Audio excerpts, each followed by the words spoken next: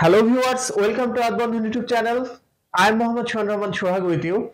Now I am showing you how to connect 4-pole MCB changeover wiring diagram. If you are new to my channel, please be subscribed and stay with me.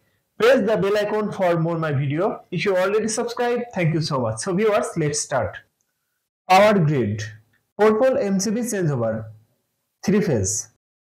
Your load from home etc power generator, R phase connection from power grid to MCB, Y phase connection from power grid to MCB, B. Phase connection from power grid to MCB, neutral connection from power grid to MCB, phase connection from MCB to generator, Y phase connection from MCB to generator, B phase connection from MCB to generator, neutral connection outgoing from MCB to generator.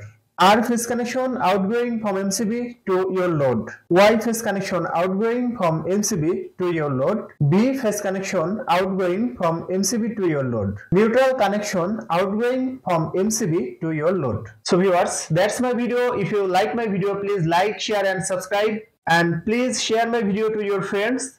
Thanks for watching my video and thanks for being with me. Thank you so much.